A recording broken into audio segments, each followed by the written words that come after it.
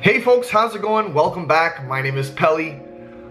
Well, I seem to be making a habit of this, but it's been a while. How you guys doing? Hope everybody's well. For the uh, thousand or so few people who watch my vlogs, thanks so much for watching. I really appreciate your feedback in the comments. I really appreciate you watching and staying in tune with what I'm up to next. If you guys are not already following me on Twitter, feel free to do so. The link's in the description below.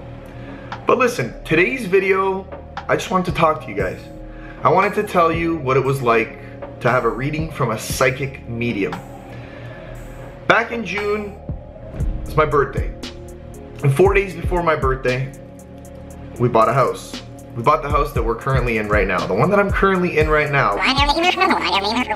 We bought the house that we're currently in right now. The one that I'm currently in right now, which, segue for a minute. If you guys do want to see a house vlog and see how I live and see the new place, drop a like on this video right now. Straight up, it's simple. I want to see, judging by the likes to dislike ratio of this video, whether or not people really care. Do you really give a hoot? Leave a like if you do. If you don't, let me know in the comment section why you could care less about my house. But anyway, back on track here without further ado.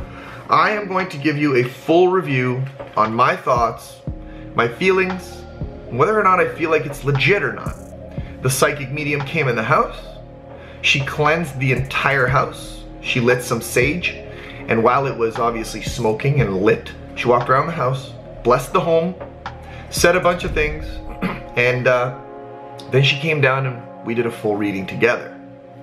And overall, I don't really know how to feel about the reading. I would say it's about 50-50, split right down the middle. I'm not gonna take you through the entire reading or we'll be here for an hour and a half because it was basically an hour and a half long. But there were certain things that were questionable. I mean, if you've ever watched any of the medium shows online or on TV, you'd notice that those mediums always point out something like specific.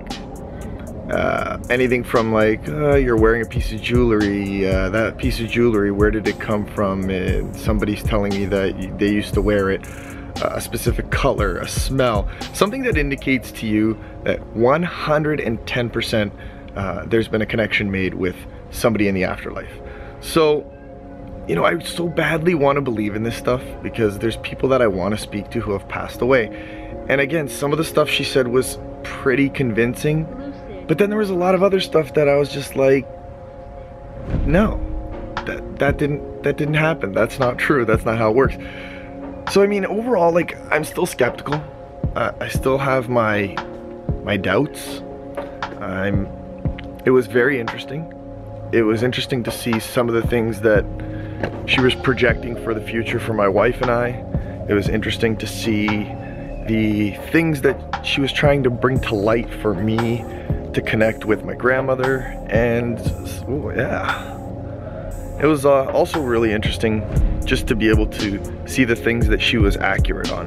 Uh, I recommend it if you think it's something you want to do, whether you want to get a psychic reading or you want to connect with somebody uh, in the afterlife, if you believe in that stuff, try it. My wife and I are, are at a point where we're convinced to a point where we want to try it again. And we want to try it again, obviously, with a different individual, just to see the comparative results.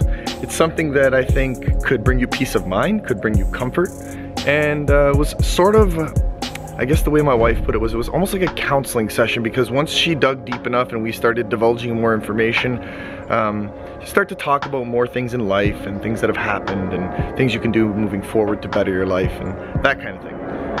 But ultimately, I mean, it's all in the user, I think. It's all in whether or not you believe or you're willing to, uh, you're willing to believe what's going on is real and what's going on is projecting your future. Does that sound like something that's possible?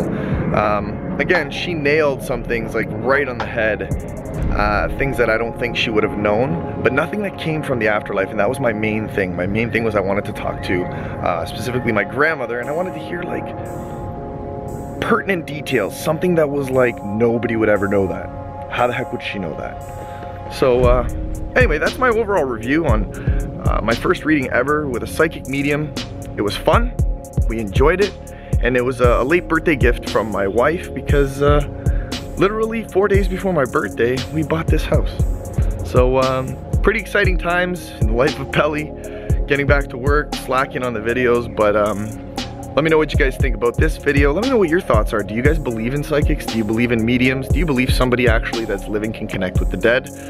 Let me know what you think down below and um, hey, if you're new to the channel, why not subscribe? It's free and hey, you never know what's gonna come up next. Thanks a lot for watching everybody. Hope to see you guys in the next one.